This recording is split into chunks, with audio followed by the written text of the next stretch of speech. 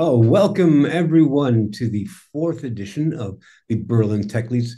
This is the final one for the year, and once again, fully digital. Uh, we're happy to welcome uh, attendees from Berlin, Germany, and hopefully all over the place, all over the globe. So if you haven't been here before, just a short description of the event. Um, so this is a meetup group for various technical leaders, um, tech leads, engineering managers, directors, you name it, uh, this is to share experiences and learn from one another. What this has been popular in Vilnius for quite some time, where Vinted's from, and so we we'd like to bring this to Berlin and Germany and beyond. We believe that leadership is something that you learn and not something that you're born with. So each of our meetups have a specific topic to teach. This one is about data science and analytics. Now, a short, um, you know, a short recap of what we've done in the past. We've had three events so far, very successful with great speakers, interesting topics, uh, topics such as how to facilitate communities and how to remain sustainable even when you grow rapidly. So we try to present di- uh, diverse opinions, insights, and display how uh, different the interpretation of a topic can be. So we encourage uh, uh, everybody to participate, and we try to provide the tech community with with food for thought and aspects that they haven't um, that they haven't considered yet. So we want to encourage you today to join in this exchange with, with the professionals that we have and join in with us in, in the meetup group so we can fuel the innovation uh, at the end of the day. So today's topic, the one with data science and analytics. AI and machine learning offer uh, enormous possibilities to personalize content on individual on an individual level and to tailor a product of any kind to very specific needs. But how do you choose the best and most efficient approach from all these available options that you have to incorporate uh, artificial intelligence and machine learning? What does the journey, especially for tech leads, look like to move from a rules based to a data driven strategy?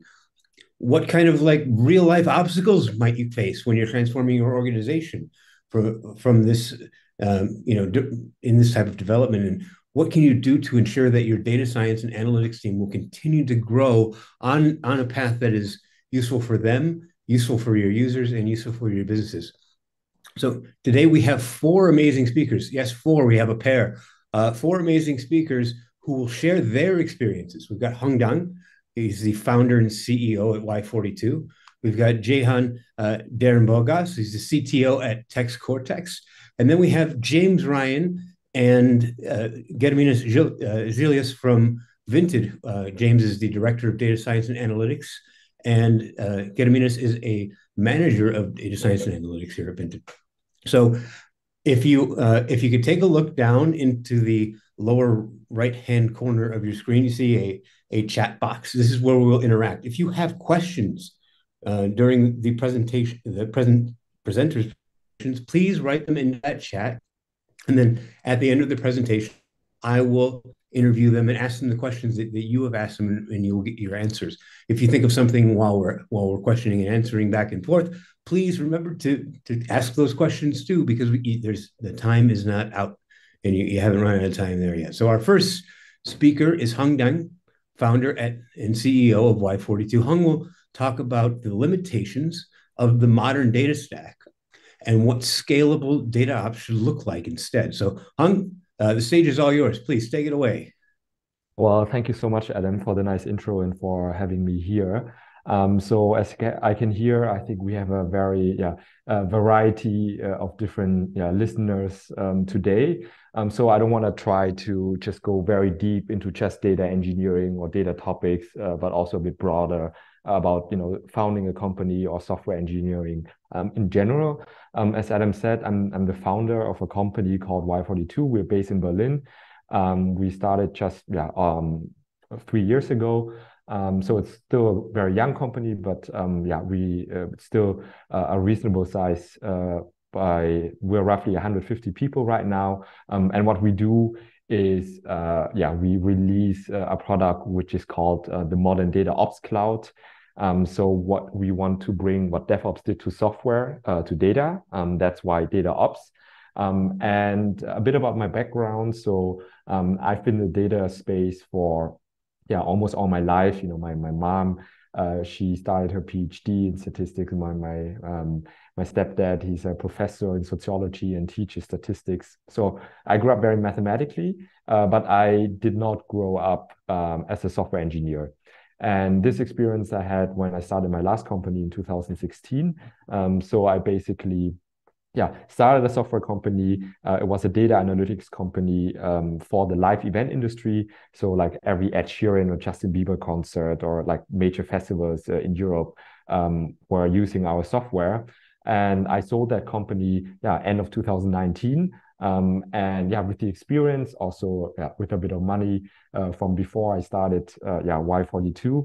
And the reason why I started it is um, due to the rise of the um, yeah, uh, of the data warehouses such as uh, you know Google BigQuery uh, or Redshift and Snowflake. Um, I was one of the first users of um, yeah of, uh, of BigQuery, and um, so the the power of these data warehouses led to a series of companies um, in the data space, um, yeah, leads to the creation of a series of companies such as, you know, uh, Fivetran or Airbyte for in the data integration tool, um, DBT for yeah, data transformation, um, new open source visualization tools like Metabase, um, Airflow for you know data orchestration and so on and so forth. So there's like a vast array of tools, uh, but the whole yeah, space is very fragmented and this is um, and i felt like you know that we are uh, very much still in the the infancy stage of what's possible um, within the tooling within the processes um, with the modern data stack. And this is why i decided to jump back into the game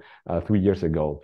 Now um, let's look into what our insights has been over the course of the yeah couple of years.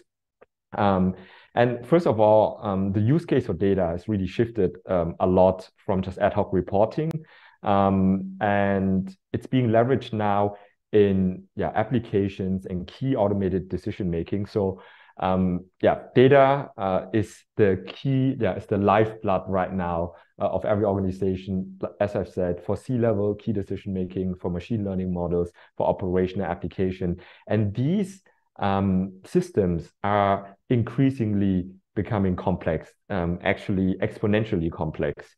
Now, all of these ad hoc build pipelines, they will inevitably break um, and cause many issues. And companies that are stuck in this old BI mindset, um, yeah, they will uh, face a lot of trouble. Now, there are many reasons for that. Um, you could think of it like, uh, hey, you have um, multiple steps in the pipeline. Let's assume you have 10 steps in the pipeline, and each of the step will fail uh, with a 1% failure rate every time you run it. So you have an SLA of 99%, which is, you know, on paper pretty good. But let's assume you have 10 nodes within one pipeline, you run that pipeline once a day, um, then the probability of that failing is going to be 9.56% already. Uh, and if you're able to increase the failure rate or decrease the failure rate um, from 1% to 0.1%, so, and, you know, like uh, SLA of 99.9%, um, the your failure rate will be only 0.956%. And failure is, uh, you know, very fat, fatal because um, it requires you time to spend on the recovery, damage control, but then a lot of communication overhead uh, and distrust in data because, uh, you know, your uh, CMO will say, hey, I don't trust the data anymore. Like, why is that uh, wrong? Um, and so you try to reduce those failure rate as much as you can within your system. But it's not just that, you know, like we all know Brooks' law. Um, the more people work on something, the more line of communication there is, the harder it gets to collaborate, knowledge sharing gets harder, governance gets much harder, and and and. And so to better this level of exponential complexity in the system that is required to fulfill all of these use cases for data, uh, frontier data leaders are currently adopting best practices from software engineering. Um, and like, you know, maybe you've uh, heard of Chad Sanderson before. Um, he's saying that if you're writing SQL and pushing that dashboard to a public environment, that is also a product. And so it must be subject to the same level of rigor as any other product. And um, if you look at like this graph right now, so um, the amount of use cases on the x-axis and the complexity is on the y-axis. So it means without any best practices, um, the complexity would just increase because you have so many more use cases for data, as I've said, for reporting, for machine learning, for you know operational applications. And this complexity results in you know higher engineering, like more engineering hours and more money that you pay without these best practices. And um, the way to battle that is what we called, um, yeah, uh, data ops. Um, so it means you include software engineering and DevOps best practices, and in order to better the complexity to uh, agility and governance and move to a scalable data infrastructure and processes.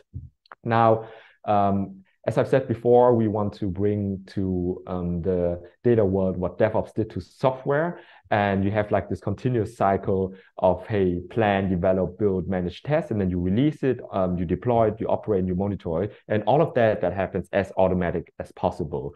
And by doing that um, you have very quick iteration cycles. So you don't do like waterfall planning of like oh we're going to release something in three months or in six months. You have like this continuous cycle of feedback. You have uh, yeah uh, you stay very agile. You can involve other stakeholders.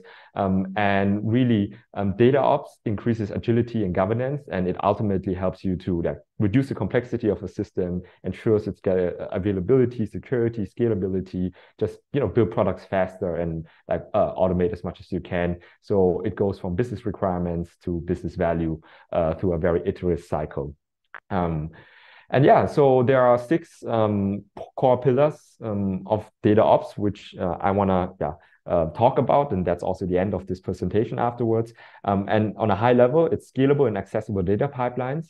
Um, data infrastructure is code, environment management with CI/CD, continuous testing and monitoring, governance and change control, um, and collaboration and self-service. And those are like the six pillars um, of data ops.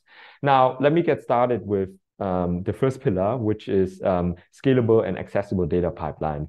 Now, it's very important that when you set up a data pipeline, so you operate on top of a data warehouse like BigQuery or Snowflake, you need to integrate data from different systems, right? So let's say you're in e-commerce, you're selling on Shopify, on Amazon, you're doing your advertisement on Google Ads and TikTok.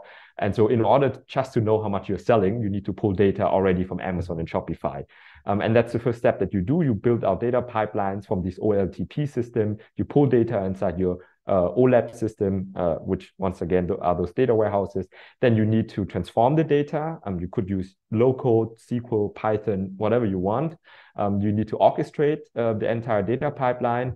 Um, and yeah, you can also visualize parts of it. And once you have production ready tables, you want to build out a metrics layer um, that is the single source of truth to define all the metrics um, within your yeah your entire system like what does um, you know revenue mean net retention you define it in one place and then you make that accessible to the rest of the tooling down here. So that's the first step you really set up a scalable and accessible data pipeline.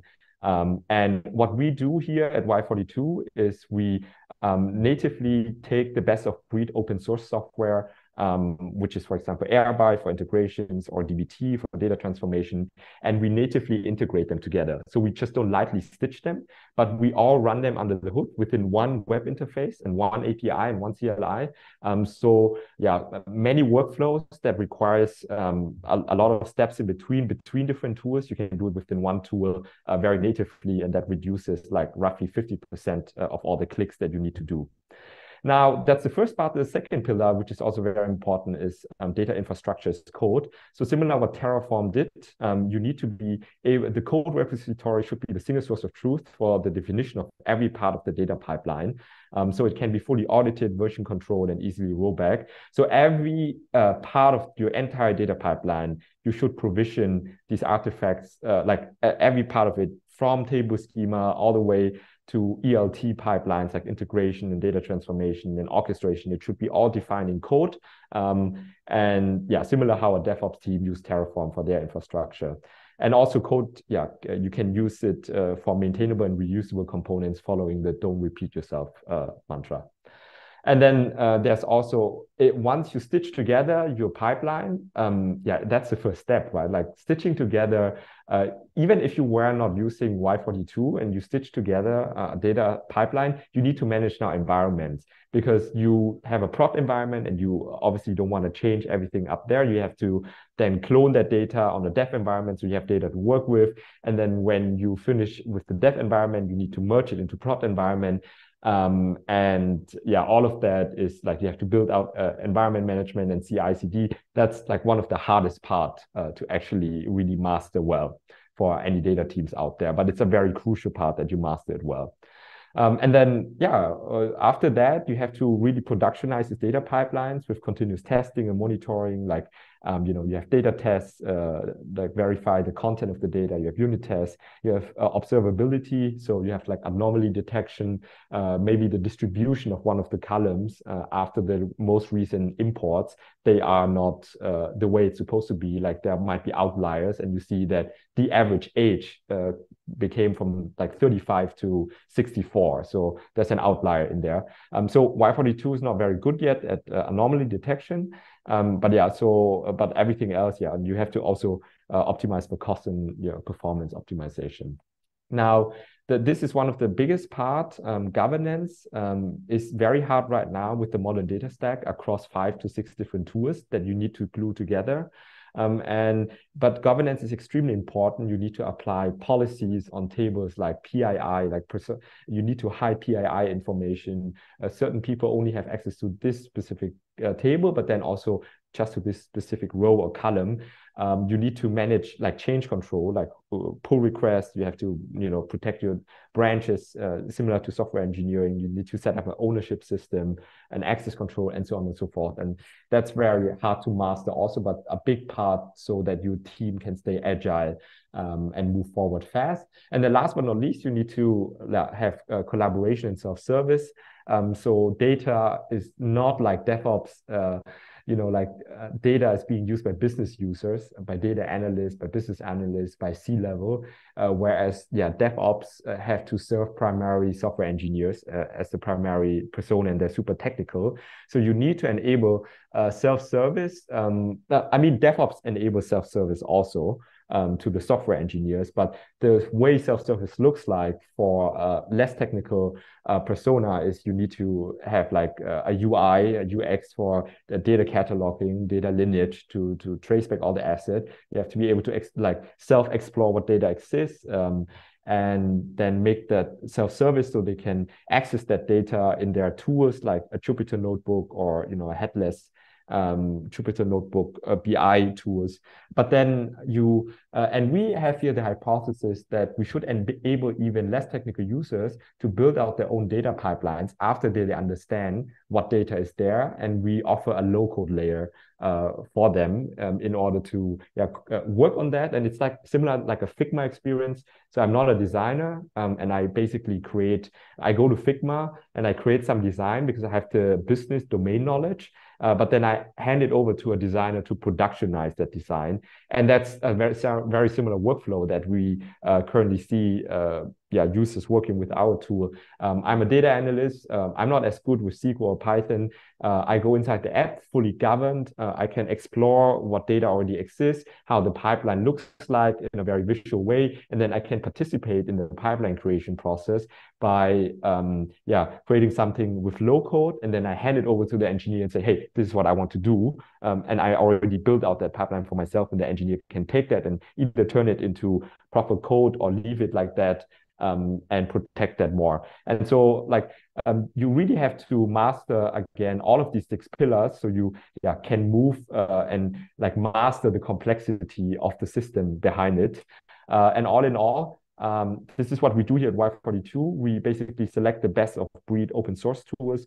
Um, we uh, natively integrate them together. We apply all the ops practices on top, like from governance to collaboration, environment management, CI/CD, everything is as code. You have one version control, you have one access control, you have one uh, yeah interface, one API, one CLI instead of like five to six or seven different one. We provision all of these tools under the hood uh, if we don't run them.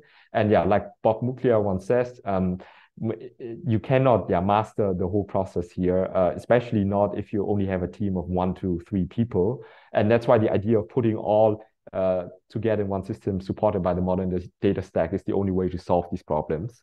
Um, and yeah, this is what we do. Um, in a nutshell, um, we uh, help our users operate on top of their data warehouse, um, really focusing on the pipeline first that is natively integrated, uh, helps them to collaborate with environment and CI/CD and governance.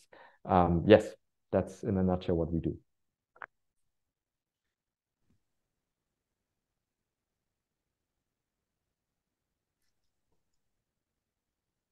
Are we clear?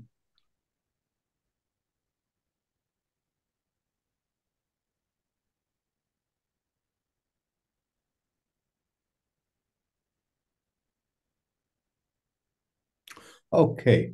So thank you, thank you. That was that was, as some people have commented, very very complete, very informative. We do have some questions. Hung. um, could you explain how data ops is different from ML ops? Uh, some people aren't recognizing uh, much of a difference between that, that term that they already know.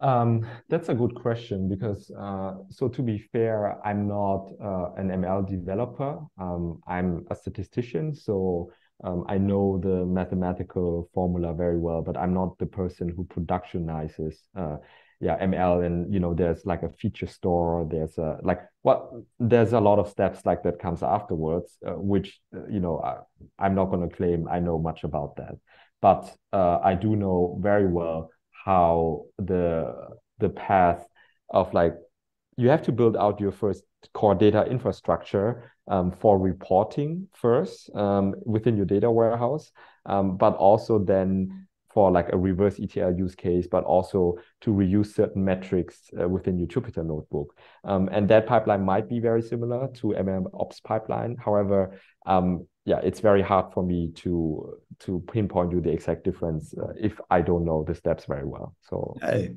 think, well, it's it, it, thank you for taking a, a, stab at some of it.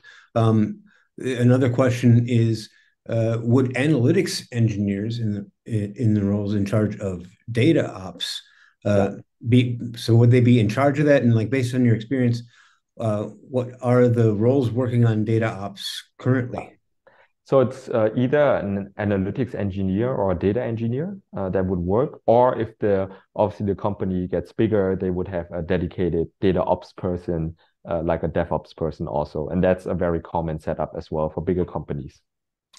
And one last question from from, from my side, if you don't mind.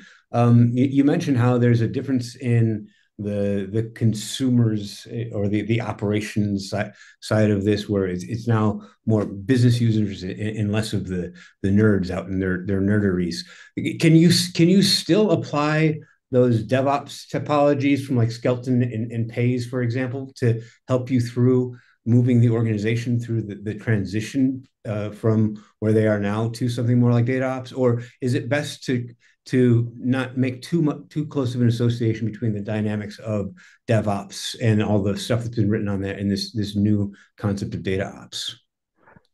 Um, again, it's a hard question for me. It was a very long question. Okay. Um, but um, I mean, I'm trying to answer the pieces that I understood. So first of all, uh, the difference between data ops and DevOps. Uh, in my point of view, there is not much. Um, the pillars that I showed before of data ops, these six pillars, I basically copy paste them over from DevOps and just say, hey, that's the data ops pillar. It's like environment management and CI/CD, data infrastructure as code. Well, in DevOps, it's infrastructure as code, uh, and so on and so forth, right? Uh, uh, but the only difference between data ops is yes, you have one more part, which is the ELT pipeline. You need to automate that, orchestrated ingestion, transform. So that's like the only part that's really different from DevOps. And but the benefits is sim exactly the same, the practices are identical to that as well. Now, again, uh, hopefully I understood your question correctly. Um, how do you take on the business user on that journey? Like, and I think that's a very difficult um, thing to do. I don't know. Can can I still share my screen? Is that possible? I believe so. Can we make that happen? People up there in the control booth. Yeah.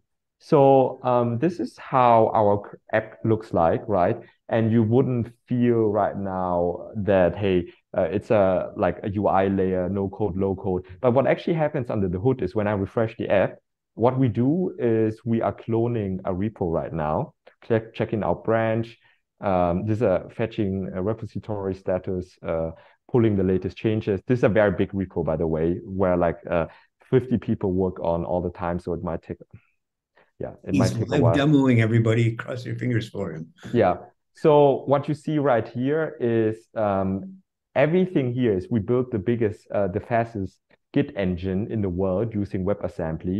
And what it does basically um, is when we start the app, we are fetching this uh, uh, uh, the repository, put it inside IndexedDB. So uh, right now we're on main. We shouldn't do that. We should go to another feature branch. Um, and then um, that's the local. So every business user, whatever they do, like for example, they're changing the name uh, of the intercom to intercoms. And uh, it's basically a local change that we did. So you need to commit all of that. And so you are adhering to all the best practices of software engineering still. And if you're an engineer, well, you can just go to the code mode and you can like edit your entire um, data stack, like from integration to modeling to orchestration as code. But all of this code is being represented one by one as the visual uh, within the low code layer here. So we are very much inviting business user to work on this process, uh, but yeah, still uh, following the best practices uh, of the software engineering way, so to say.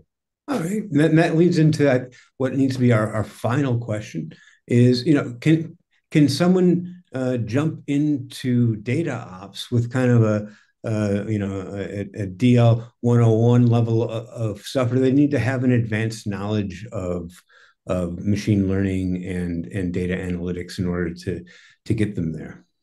Um, I don't think so, and that's the beauty of data ops. It's like a very you know like new category, new field, which completely makes sense. Uh, I mean, obviously, I'm biased in uh, very biased in here, um, but we have to look at it from a different angle. Um, for example, in our company, uh, we have uh, around 50 or 60 engineers by now, but we only have a data team of three people. So it's like a difference of a 20x, and that's very common. So in, uh, for example, blah BlaBlaCar, um, they are like thousands of people, but they only have a data team like of 40 people. Uh, uh, I don't know the exact number, so uh, hopefully it's uh, yeah. But either way, even a blah BlaBlaCar, very big, you know, multi-billion dollar company, they have a data team of 40 people, um, and so most of the teams, data teams out there, they're rather small, right? They're like one, two, three, four, five, until 10 people. Um, and so uh, data ops is something that has been handled usually by the data engineer or by the analytics engineer up until then. And will it become like a full-fledged role? Probably more on an enterprise level rather than on a level of like, oh, I'm just like 500 or 1,000 employee. I don't think that that there will be a dedicated data ops for that position. Nevertheless, um, every engineer or analytics engineer should apply uh, or build out these best practices with like either 20, 30, or 40% of the time. Um, but they would still need to build out pipeline, you know, like build out, use DBT, build out SQL uh, pipelines, uh, and so on and so forth, or build out integrations. And so I think it's uh, it's definitely a role more uh, for the enterprise level, but then you should be really trained. You should have like some DevOps background uh, in there because uh, it's very similar practices that you need to do. But when you start with a smaller companies, um, that's definitely something that you, you should aim for and you should learn. Either way, it's going to make you a better engineer overall. Uh, and it sounds like there's there's a good uh, possibility for transferring skills of what you do, the skills that you do know to an, an unknown uh, topic or area, which is which is a nice way to learn stuff. But thank you for all that that that great information. Thank you for also helping people to discover the, this new this new topic. I really appreciate it and, and enjoy um, and enjoyed hearing about it. But and now it's time to head over to to James and get Gediminas. But first, I just wanted to post something in the chat there. Everybody put your eyes on it. There's a there's a link to a survey about this event right here and, and the meetup group itself. If you fill it out, um, we really appreciate your feedback.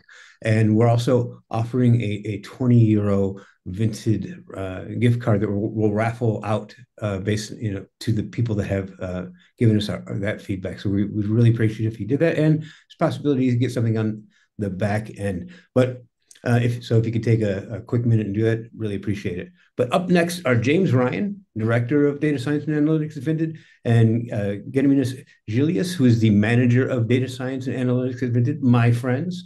Um, and they have a talk about transforming towards an ML-based personalized discovery experience at Vinted. So James Gediminas, the stage is all yours now. Oh, thank you very much, Adam.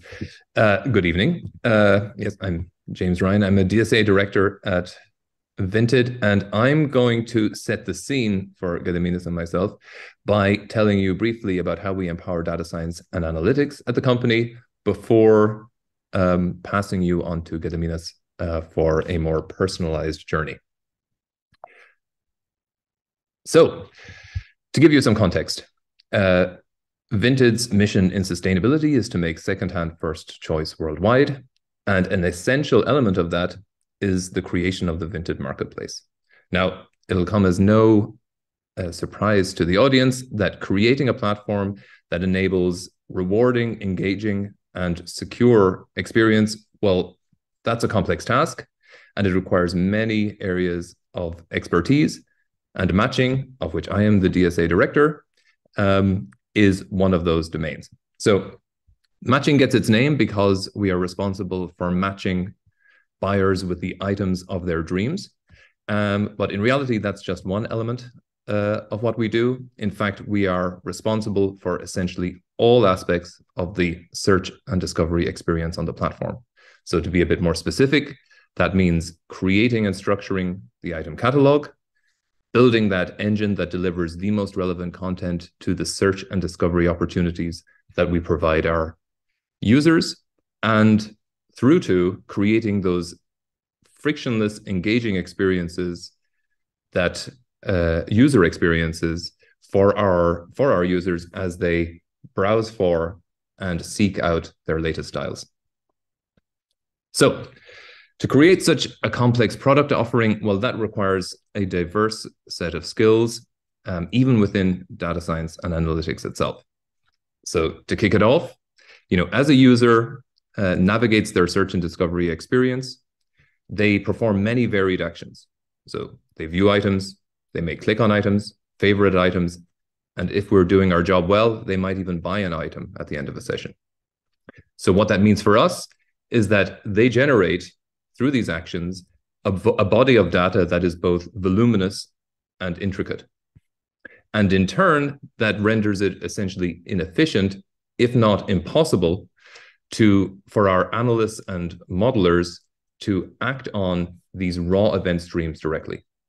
So we need analytics engineers that can create multi-layered data models so that that enables our analysts and ML engineers to jump in at the right level of granularity. In turn, as we build out our product development, Vinted is committed to doing so in a scientific manner. So the responsibilities of our decision scientists are mainly twofold. So on the one hand, they're responsible for quantitative R&D during the feature creation phase, but they are also responsible for evaluating impact as we release these features into the wild. Now, Vinted's marketplace has a characteristic. It's a two-sided marketplace, and it is populated with highly unique user-generated content. So this presents significant statistical challenges as one, in order to perform trustworthy online experiments. And we need decision scientists who have that expertise to design, implement, and evaluate experiments in that challenging environment. And finally, um, you know, ML is integral to the search and discovery experience on our platform. So, and ML traces its way throughout everything that matching does. So, on the one hand, as I, as users upload items to the platform, they provide us with rich unstructured data in the form of images and textual descriptions. And we need expertise in computer vision and NLP to extract those invaluable attributes that help us aid them, both buyers and sellers, in their journey. Moreover, you know, as we supply and populate the most relevant content to those search and discovery experiences, we need to have experts in recommendation systems, as well as information retrieval and ranking in order to make that a success. And last but not, not least on this, this slide, those systems, they need to be robust and work at scale and with low latency. So a significant engineering and ML engineering challenge. Okay, so to the crux of my part of, of the talk. How do we set ourselves for, up for success?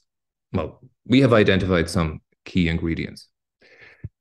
So one part of this is that engineering, product, and design, as well as DSA, um, are all represented equally at essentially all decision-making levels of the uh, of the organization. For example, in matching, you know, DSA does not exist on its own. There are product managers, there are designers, and there is a rich selection of engineers, front end, back end, search specialists, QA, and so on. In order to have all these uh, skill sets working together productively, well, that's a subtle challenge. And having those uh, those four uh, capabilities represented explicitly at all levels, that's very, very useful. So, for example, I, as DSA director in matching, I create the matching strategy with my counterparts in engineering, product, and design. That supports the broader marketplace strategy and also incorporates that impact, input, and feedback from our direct reports in the teams.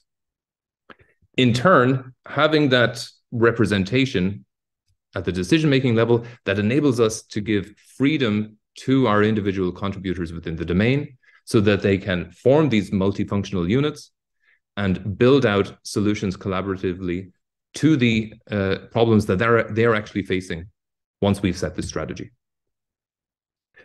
Um, and finally, uh, and last but not least, you know, even though we give this freedom in the domains, we are also conscious about standardization. So Vinted, as the broader Vinted company, is building out a set of platforms, data, experimentation, and ML that promotes standardization and communication and enables us to leverage the fruits of the freedom that I spoke about just a moment ago across the broader organization. After all, matching does not exist in a vacuum, and we're expected to provide data and services internally as well.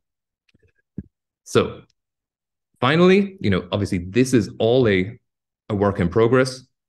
We are constantly encountering challenges um, on this journey and learning how to overcome them. And I'm going to pass you over now to Gediminas, who will take us on an exciting specific journey that we're having within matching.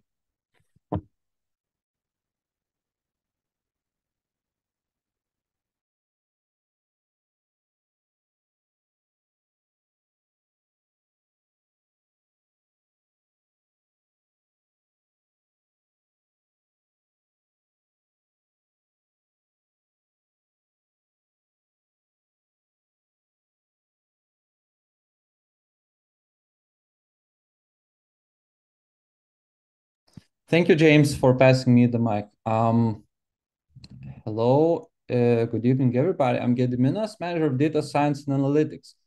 And today I will walk you through our journey uh, moving to transition of personalization with machine learning. So it won't be a tech talk. Uh, uh, it will be more like higher level overview, uh, but uh, feel free to ask any technical questions during Q&A.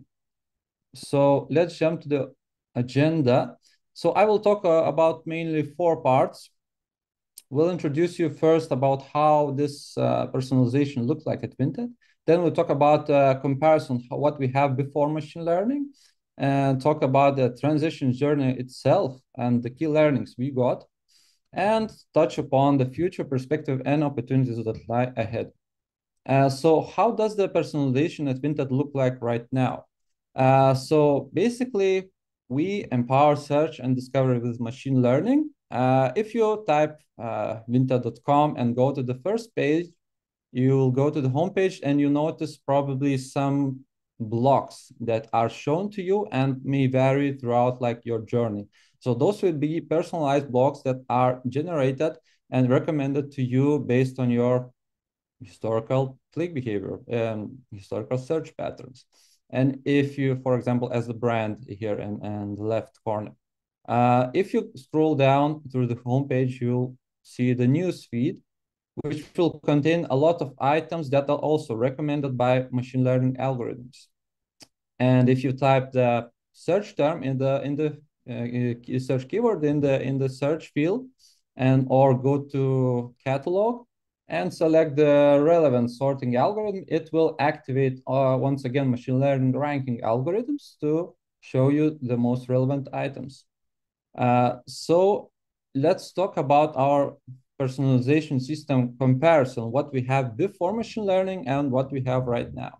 So before machine learning, basically, we, we had a, uh, rule-based manual process. And uh, for example, we needed to come up with some user cohorts or user research uh, preferences for which we do data-based offline analysis and come up with the findings uh, how we would you know show what items you, you, we should show to the user. And when it comes to like deployment we had like uh, very mm, like limited ways how we can enforce the personalization. So we basically use uh, boosting algorithms that boost some attribute item attributes based on those analysis preferences. Whereas right now uh, we do it fully automatically. We do it uh, data driven manner. So uh, when it comes to offline uh, uh, algorithm development, we use machine learning and we use user feedback to uh, to guide the algorithms to learn user preferences, for example, clicking patterns, purchase patterns, and etc. And uh, we develop uh, various complex architectures from decision trees, neural networks to more advanced architectures and we can deploy those architectures in production using uh, high performance spe uh, specific machine learning frameworks that enable to do so. Um, so in a nutshell, uh, so let's talk more about our transition journey itself and key learnings. so uh, looking retrospectively, transition journey using ML reminds me more of a Gartner cycle when you know you have this uh, innovation trigger, uh, which was our like motivation. Oh, we have a plenty of data. How we make our system data driven? You know, how to make our personalization data driven. And then it uh, triggers our curiosity and research, and we uh, started to investigate, you know, what that company is doing. We saw, and we saw like uh, tremendous effort in research and success stories and blogs and uh, other country, uh, companies are bragging about, you know, how machine learning helped them to personalize content through recommendation or ranking system. So we had like this uh, achieved this peak of inflated expectations, you know, uh, that we can do it also. We can take those models, apply the knowledge, uh, train on our data and deploy. And we tried to do it. And of course, uh, we jumped to trough of disillusionment immediately. So after we uh, did the dedicated a lot of time to develop model, we dedicated a significant time to deploy this model finally with the data in production, and we saw like failed A/B tests. So we then thought, what's going on? Uh, what what what would be wrong? So then we started to dig uh, deeper, uh, to go through uh, steps to the book. What is what uh, what what what bad things could be uh, happening? So we found a bunch of things like online offline machine learning input mismatch, too slow production data pipelines, too complex models, uh, again, metric mismatches in online, online biases in models, and etc. And so we started to cope with those one by one. We like slowly uh, went to the slope of this enlightenment, and we achieved finally first successful A/B test, which help us go us through and learn our path to plateau to productivity. Uh, so when it comes to specific learnings throughout our journeys, uh, and what I would do again if I would uh, needed to move, you know, tra- transition to machine learning and organization and especially personalization, the preparation stage uh, would be like uh, would require you to focus a lot of environmental setup. Uh, by that I mean uh, flexible A/B testing in organization is a prerequisite. Plenty of data to machine learning models. We're not talking about tens of thousands of you know events. It's like millions or at least hundreds of thousands. Flexible user tracking available. Efficient data warehouses uh, for custom computational sources etc uh, but the most important thing i think is the right talents so for experimentation with machine learning you need to have a data science and engineering uh, capabilities competence um, but this uh, this might be not easy. Uh, however, full stack machine learning engineers really can do miracles. And this is our like success story when we started only from few machine learning engineers that really we're doing production uh, production uh, work, we're doing machine learning development work, and we achieve amazing results with only ta talents of few people in the team. Um, then third, last but not least, is like convincing stakeholders. Initially, it's very important to like um, go through the step over conventional product mindset to like uh, easily fast uh, result, easily achievable, fast business gains and results, you need to mm, cope with this that you, it might take a one year to start seeing positive results with transforming with machine learning. So the next step is kicking off. Uh, goal setting uh, is important at this stage, uh, but not to drive the team into research trap. For uh, that, I mean not to focus on far-fetched goals. Try to formulate intermediate goals that fit into one, two sprint uh, week sprints. Uh, then use this concept: fail fast, learn fast. Uh, start from simple machine learning models approaches as much as possible that are easy to deploy that may use like a only a naive set of a small set of data that is easy to deploy in production experiment as much as possible uh, with an A/B testing and the third thing is know your business metrics at this uh, stage quite well. So their product managers should really strong you uh, have a strong support towards your data science team uh, you need to think with, uh, with, with, for example, uh, what metrics to use as in our case, we like maximize user experience, how we express user experience, whether it's, you know, sale or transaction, and how we then uh, you what signals we use for the machine learning model if uh, we are able to use you know the same signals to train the model and guide the learning patterns. Uh, yeah. So the third stage when you like su successful or unsuccessful launch your first A/B test you need to like learn what how to what to do next. And there you need to focus a lot about um, knowledge gathering. Uh, knowledge gathering by i mean like growing teams knowledge by participating in relevant conferences drive internal discussions and uh, participate in x week project. The x week projects at vinted we have uh, are called like one week projects that uh, diverse skills of experts from the whole Vinted. They can form team that works on um, any crazy idea products uh, and uh, and it's like most efficient way to learn uh, a lot of skills in short term uh, to ha have a high motivation to show your maximum and this is what we do and this is what works uh, for us. Uh, team skills and competence is like at this point very important too because you have a lot of learning to do then you need to have a full time data analyst dedicated to analyze this and of course focus on data or analytics engineering to support you on data availability, quality, and data pipeline automation.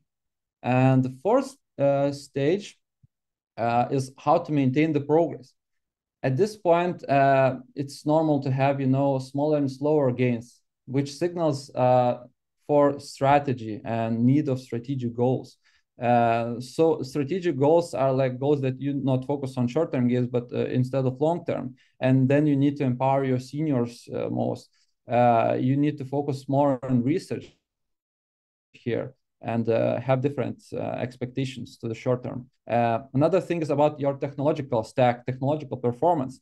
You need to, this will be your bottleneck at this stage. For example, as in our case, we had no feature store uh, and the production pipelines they if you deploy more complex model it takes more time. If you uh, deploy more like um, the complex data you also need to uh, take time to the user you know lagging of the delivery. So then you need to focus a lot of how to improve it how to make it fast. And we did like reiterate the feature store through the bottom up. We reiterated the frameworks of machine learning what we use and this gave us again like new boost and, and, and new way new like gap where we can use this time resource to improve further our models. And data quality and monitoring at this uh, point is also vital uh, because uh, the data quality and uh, marginal business gains could be highly affected by small uh, even small data quality even some minor issues. So you need to put a, a lot of focus at this stage about this. And also monitoring because in production you have you know to know what model inputs look like, what out look like, whether it's okay or not. Uh, um, so that's how the key learnings look like. Let's touch upon our future perspective and opportunities at Vinted. So currently our achievements with machine learning are really, I would say, huge. Uh, we achieve like uh, with personalization with machine learning alone in, in uh, different product areas, around double digits of business gains uh, in, and throughout like few years. And then talking about still opportunities remaining, uh, there are plenty of. Uh, because we have uh, enabled uh, in 17 countries and counting, we have like um, 1 trillion million of impressions through the year and, and we count, you know, hundreds of billions of clicks throughout the year. And this basically shows that we can adapt uh, our machine learning models to very deep personalization level to, to deliver even better experiences uh, but, uh, with machine learning. And the last thing I want to touch upon our future perspectives, which basically I listed only four at this stage at this time. Uh, first being adapt latest AI advances, uh, which I mean like transformer architectures going through more like a, a, a more the, enabling our user experience learning uh, architectures. Uh, second thing, to really focus on real-time recommendations and enable them because this is like uh, it could be a game changer uh, of uh, adapting, changing user preference throughout the session and put the model, uh, ML machine models and recommendations according to that. And third thing being utilize more diverse set of signals. So as as already James mentioned, no images and texts uh, text information, we just scratch the surface on it. So we'll need to dig in deeper more because we see huge potential. And last but not least, this is about enabling personalization in more channels in our product. And not only answers, but search suggestions, more adaptive block rankings and notifications, to mention a few. So thank you for your time and yeah, have a great evening and have a discussion. Well, thank you, thank you both for the presentation. Uh, eh, don't forget too, there's also a step of, of information security and, and, data retention there. The plug plug from the security and privacy teams at. We're, we're working hard with you guys, and we really appreciate your help to keeping our, our members safe. Uh, I had a question about the, that you know um, there was a step in there about learning what was important to the business. Uh, what we're calling that in my domain is is is speaking the language. How did you guys learn to speak the language of of the these things moving and keep them and, and give them traction?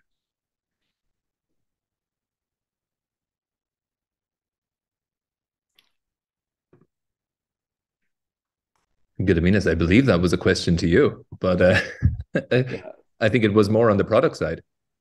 How did you how did you learn how to speak with the product managers?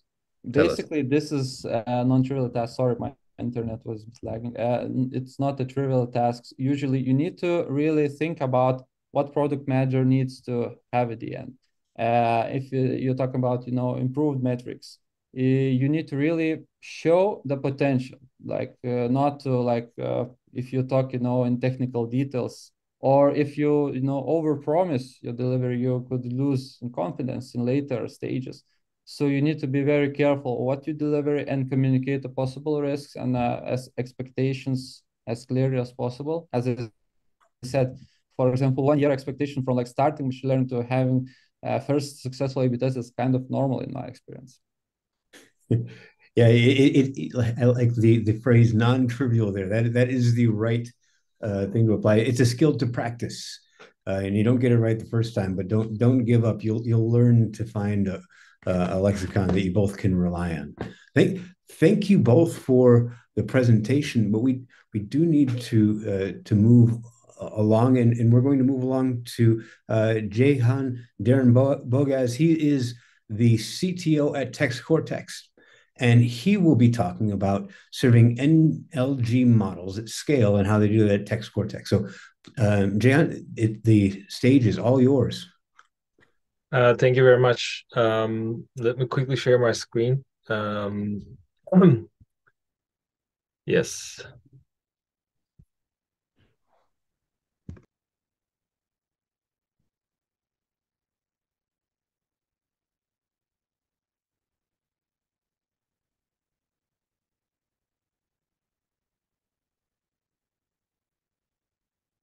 Mm, are you able to see it? Does it work? Okay. Now? Yes? All right, perfect. Um, so thank you very much for the introduction, Adam. Uh, my name is Ceyhun. I'm co-founder at TextCortex. Uh, about myself and the company a bit. Uh, so um, I'm working as a CTO at TextCortex. I uh, founded the company two years ago, uh, which was actually started when there was no really so much like so much uh, chatter around the generative models. Actually, even before that, three years ago, it started as an open source project, and uh, yeah, the whole, company actually started with the idea if um, someone would be willing to pay for money for a generative model that is something that is generated by a computer and i was just like curious about the the the answer to this question and it seemed like yes people are willing to pay for this kind of content and uh, that was the start of the company um, after uh, years we come to the point that we have uh, thousands of users now we have a chrome extension that you can use generative ai models wherever you go uh, within whatever workflow that uh, you need it in uh, so yeah, that's about the company. About myself, I worked as I work as an engineer. Um, I started the first uh, um, I started the first infrastructure backend repo back in the days, and now it grew to a much bigger scale. Um, um, yeah, be yeah, that's about myself. Um, if we so today we are going to talk about the generative models and how you can serve them at scale. That is something that we have um, that we need to solve we needed to solve at the company. And I will share some practical tips, uh, but that's mostly going to be very uh, simplified version of it. So um, if you heard about transformer models, so they are definitely not the transformer models that you know from the movies, uh, the transformers from the movies. They are a part of an AI algorithm um, that is using attention uh, layers, and that is uh, that's why actually the AI got so smart in the recent years. Uh, before that, we always had the neural networks and uh, different kind of technologies, but it was never really smart smart. Uh, but after the attention is all you need, um, a paper from the Google AI team. Things have changed, and now it come to a point that it is really hard to tell if something is generated by a machine or by uh, um, by a human uh, so we are at the limits of the Turing test, and let's see where it will go. Um, so this is uh, our um, Chrome extension. Uh, so what we are what we are doing here is like basically after you install the Chrome extension into your browser, you can um, highlight the text that you want to write. You can give some prompts to uh, or like give some commands to the AI easily uh, and then it will respond with uh, whatever you need. So you can say like, "Hey, write me an email about this and this and that," and then it will write you a, a nice email. Or if you don't know what to write next, it can you can just like highlight something and then click on autocomplete, and it will autocomplete the rest of the sentences.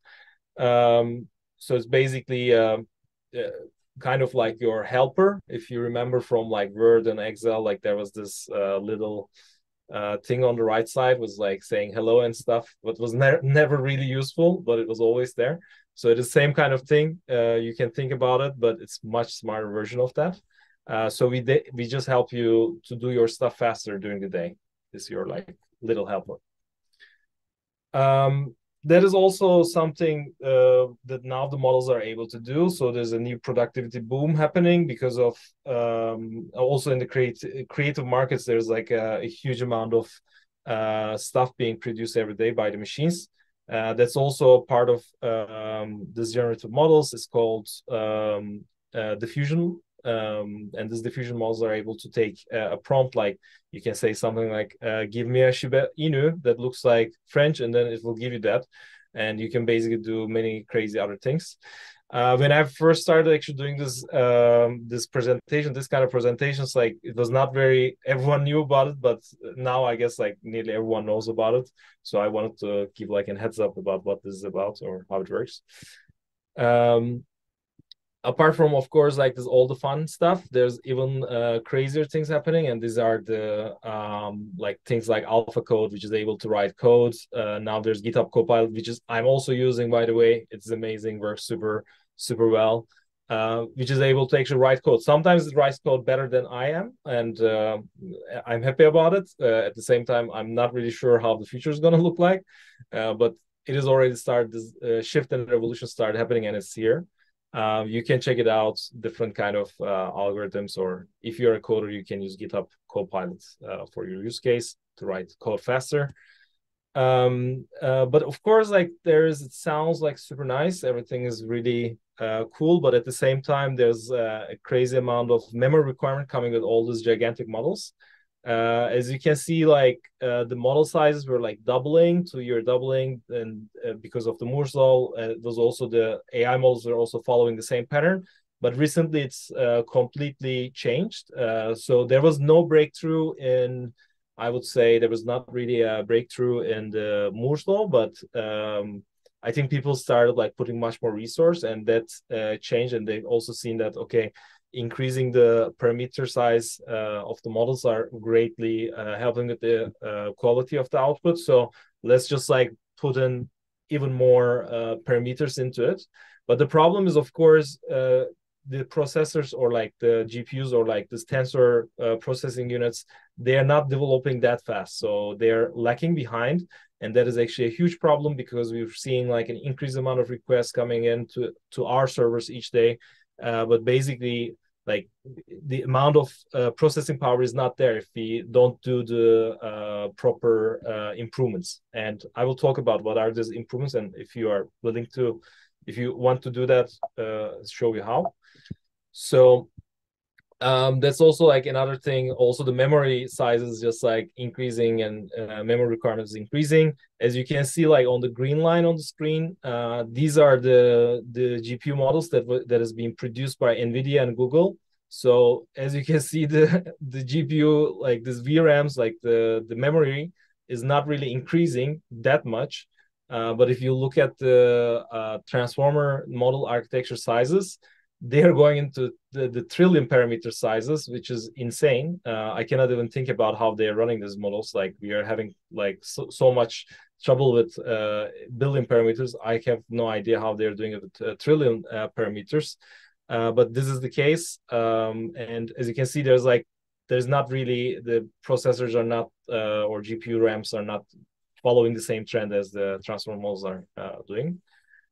Um, so how are we going to serve these models? Uh, you're not going to serve those gigantic models at production uh, because that would be an economical and an environmental disaster. Uh, instead of that, uh, what we are doing is creating more task-specific AIs that are more energy efficient and economic to run. Uh, but of course, these gigantic models are great for exploration, creating data sets, and that's the that's why we are using these big models. And then we use these big models to train smaller models so that we can achieve better results.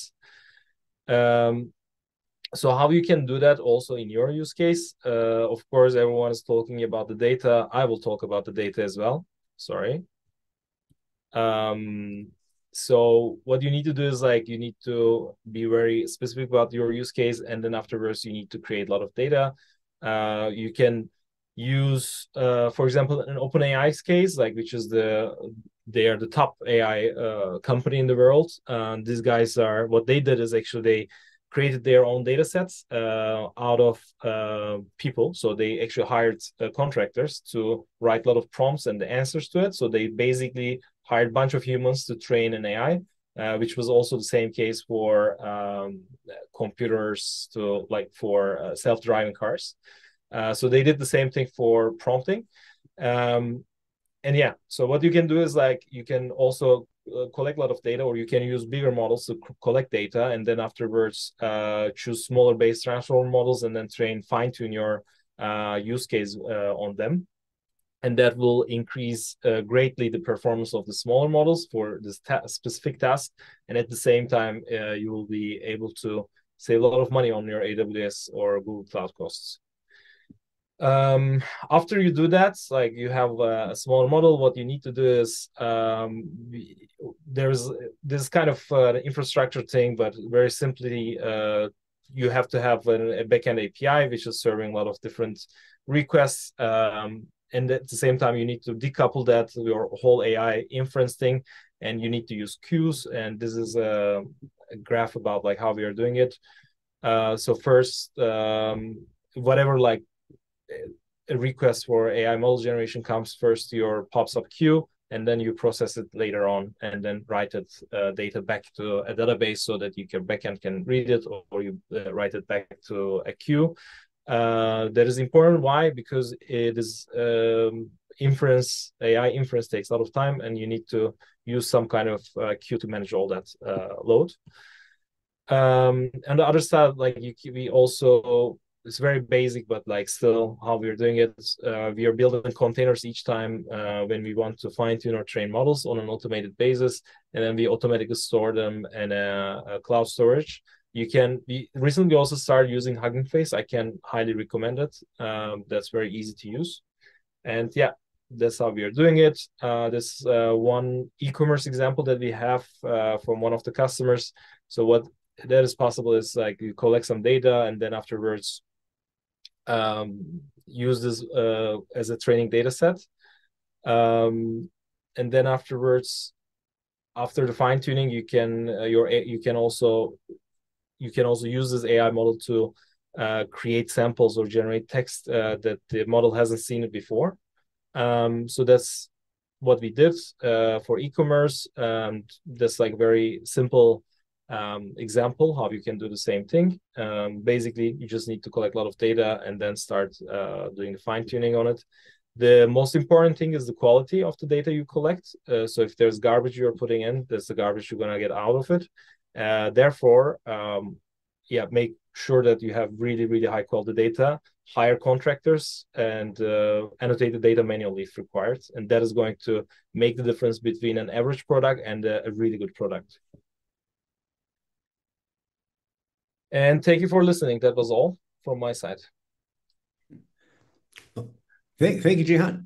Really interesting and, and also really informative. It's uh, I think that it's also very timely given uh, like the, the media explosion around around something. We got we got GPT chat. We've got uh, the whole the, the the nifty work that they're doing on holographic wormholes. It has a little bit of of uh, I, I guess uh, connection here. I had a question for you about um, when you know both you and and the folks from Vinted mentioned starting with something small and then iterating on it and building it up and, and finding what works first before you before you uh, you you uh, start to collect the, the really detailed stuff.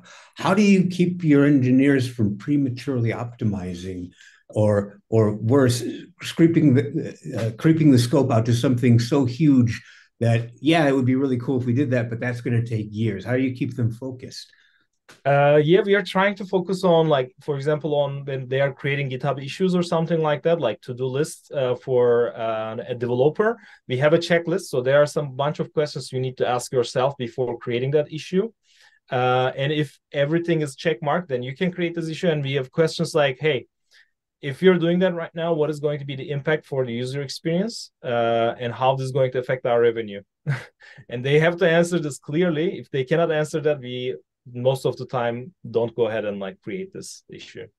Ah, yeah. So there, there's a little bit of a of a gate to to to cross there. It, it also probably helps. It sounds like that would also help them just be more commercially aware and more well-rounded engineers as well. It's, it's something I would encourage everybody to like uh, to adopt that kind of that kind of mindset and those kinds of processes. Um, well, we are just about at time. I believe, unless and we have any more questions. Last last chance from from the crowd out there. Once, twice, gone.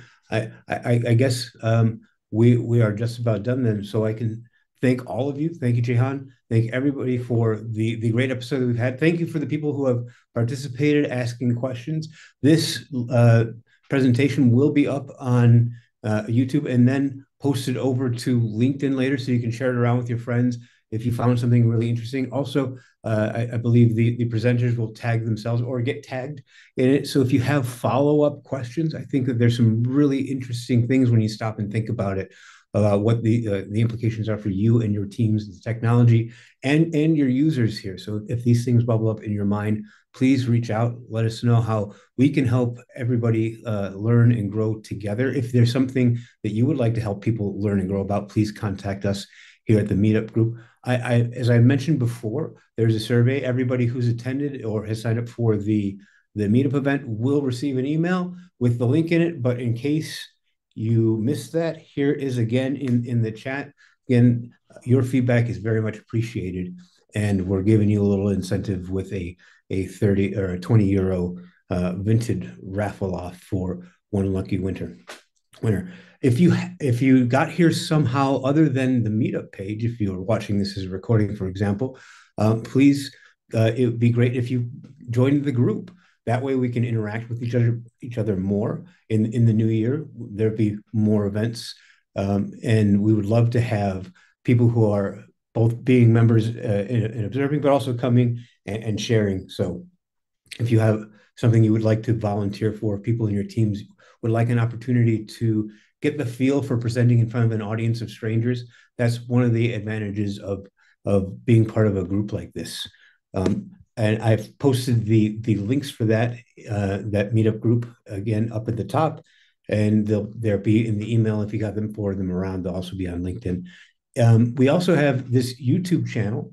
Uh, we work at Vinted, where we'll be uploading the recording for this, but also you can watch other things that come up. This is not the only type of event that we broadcast from the Vinted studios here. We, we do other types of things, and, and it's good to keep an eye on that space and see what's what's interesting coming up from the great minds at Vinted. And then there's German Tech Jobs. It's a great platform to get connected with the German tech scene. So if you're looking for a way to do that, or if you'd like to get more involved, please check out germantechjobs.de and find different interesting communities to broaden your knowledge. Um, and we look forward to hearing all of your good stories and you sharing your future learnings with the community. So please get involved. And until next year, it's been Adam Mullen, it's been Vinted, and it's been all my friends here. Have have a great time. Have a great day.